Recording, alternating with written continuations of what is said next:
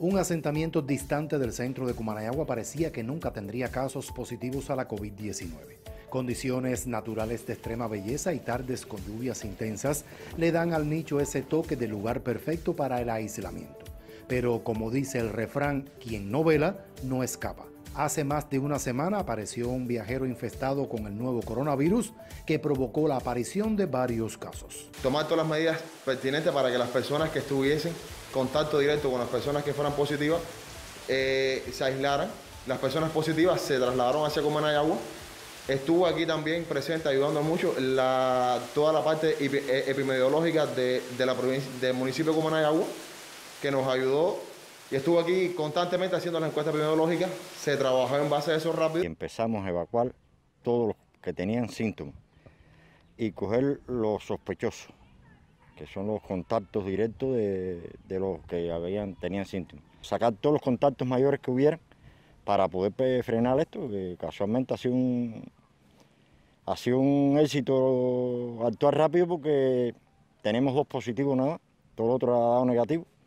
Con cerca de 500 habitantes, esta comunidad ubicada a más de 15 kilómetros de Cumanayagua llegó a tener cerca de 30 pacientes aislados.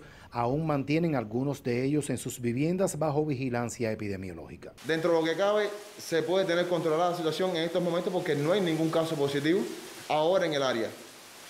Las personas que estaban en aislamiento, todos sus PCR fueron negativos, aunque Ahora se está, se está viendo también que dentro de, dentro de los 14 días y los 21 se están saliendo positivos esos casos que están saliendo de los centros de aislamiento que tuvieron contacto directo con los, con los positivos como tal.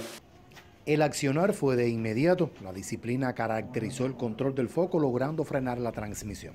Los contactos y los que no son contactos ni están infectados se mantuvieron en sus casas, no salieron a nada, cumplieron con todo lo establecido entre nosotros, o sea, por, esta parte del Poder Popular, todas las medidas tomadas por el Popular y todas las medidas tomadas por la parte de salud pública cumplieron con todas las medidas. Y fue una disciplina que, que nos hizo mucho más fácil el trabajo. A todo el mundo se le dijo que poca movilidad, los necesarios nada más a buscar el pan, la leche, eh, algo a la bodega, de ahí en fuera no podía salir nadie. La comunidad se mantuvo muy disciplinada, se mantuvo ahí y está, estaba algo asustada la comunidad porque tú sabes que esto no es juego, esto mata a las personas.